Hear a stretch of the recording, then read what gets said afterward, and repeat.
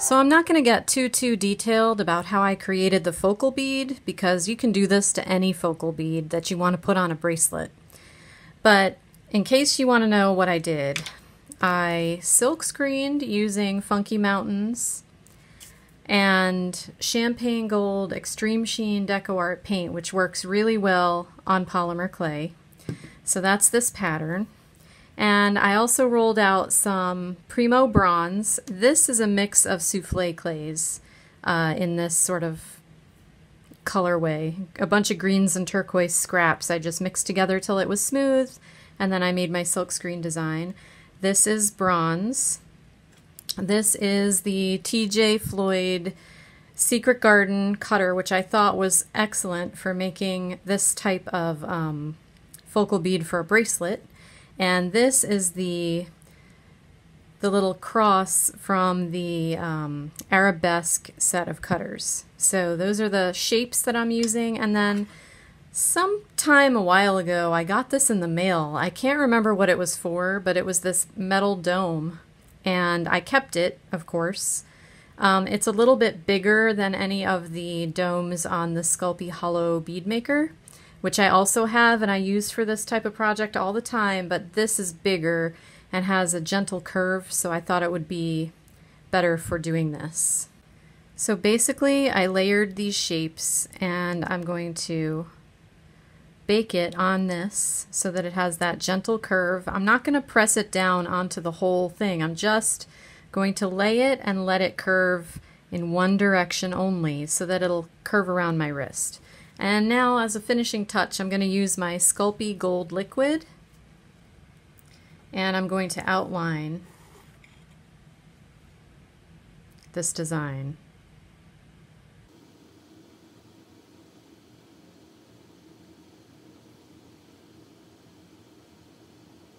And this is just for decorative purposes. I don't need to do this for the clay to stick.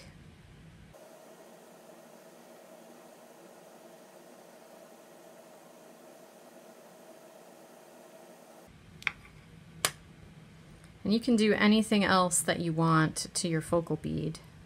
Now here's where we have some fun creating custom bakeable tools for ourselves. Okay. Now what I want you to know is that I love Amazing Mold Putty, but it has a shelf life. So on top of my box, I have written when this was purchased.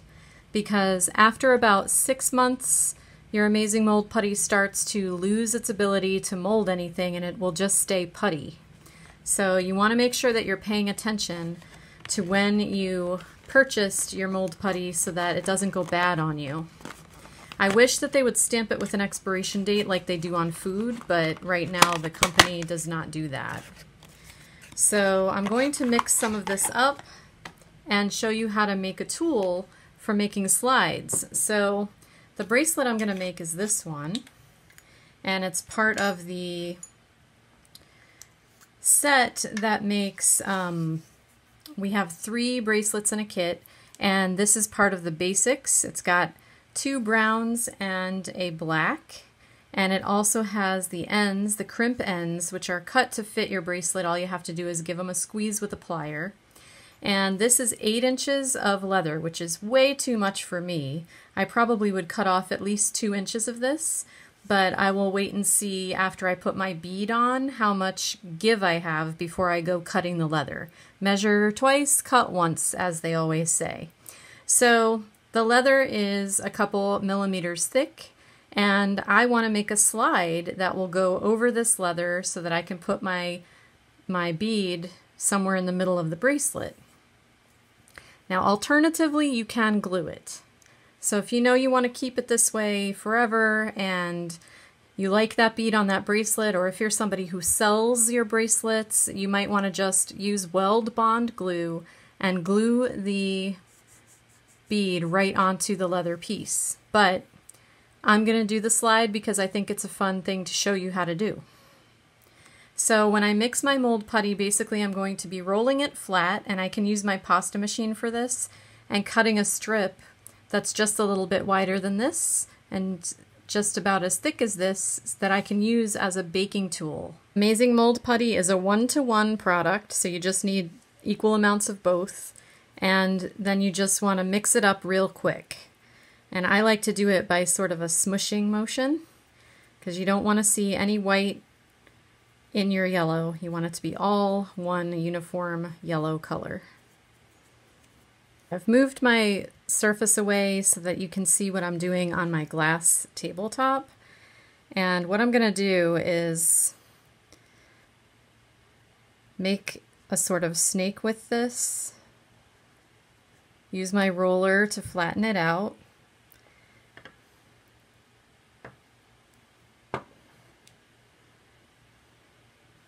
You want it to be thin And then we're going to use the leather as a guide.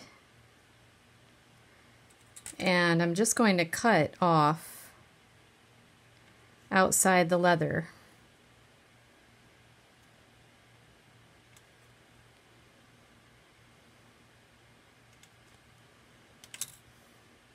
So that this will firm up and be a little bit wider and a little bit thicker than my leather piece. And now when I build a bead over the top of this, which you'll see in the next step, I can slide it right onto my leather. So here's my layered bead, and I'm just going to pop it off of here. It's, it's cool now. And this is my piece of amazing mold putty that is now ready to use. So basically, if you have an idea, you can do your mold putty piece while your other piece is baking because this only takes 15 minutes to set. So what I'm going to do is I'm going to lay this in here. And I've rolled out some more of that bronze clay. So as I'm doing this, I want this to kind of lay down inside of here. So I'm just going to grab a glue dot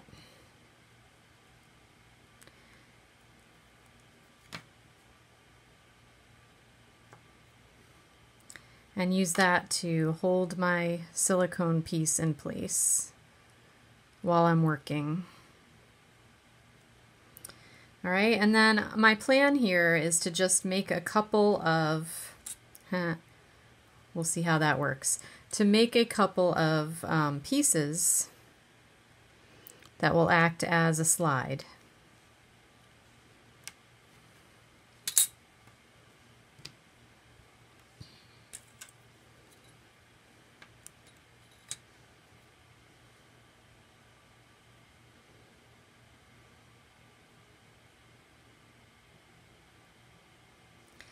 So I'm going to firm them over my silicone and onto the bead.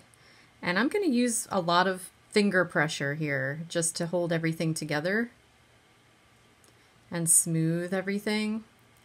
So I'm pressing this down onto the already baked clay and I'm just using my finger to kind of smear it off the edge here, which helps it to bond and make a nice edge against the other clay.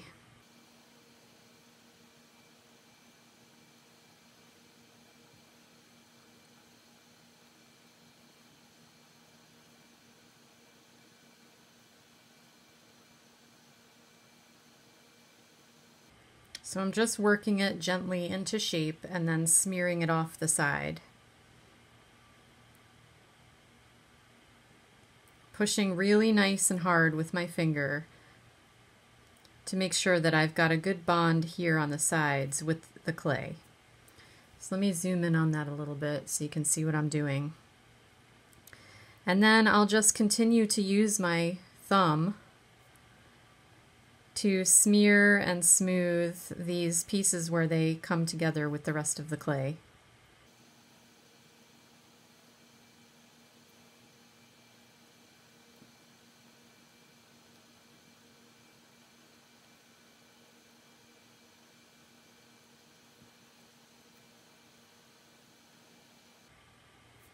And this is going to go in for a second baking just like this so that after I bake it, because the mold putty is bakeable at this temperature, After I bake it, I'll pull the mold putty out and I'll slip the leather in.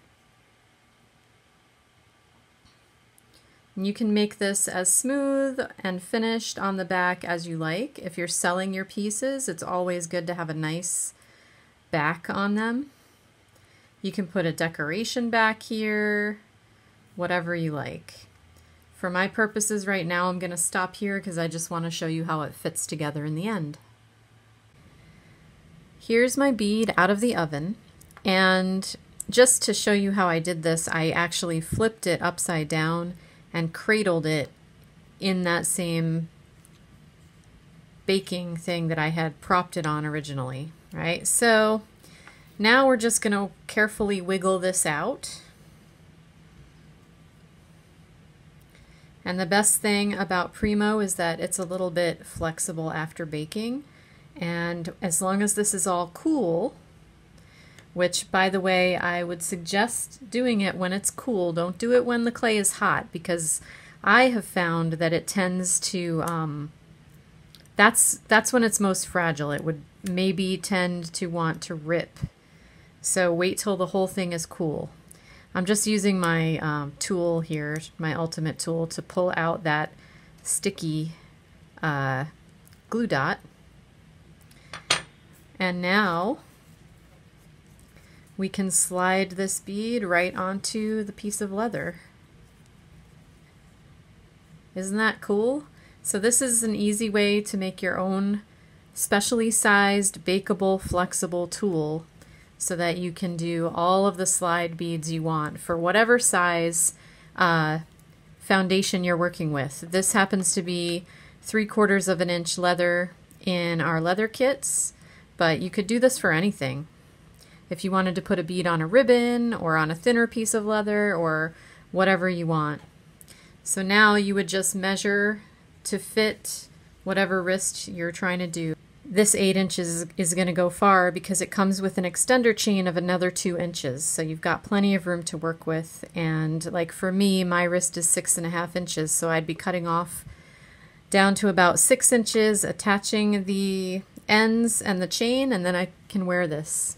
So I hope you have fun and that you've got a great new tool in your arsenal and that you'll come over to Polymer Clay Tribe and show us what you make using these techniques. And if you are interested in any of the tools shown, those can be found in our shop, which is createalong.com. We'll see you next time on Polymer Clay TV.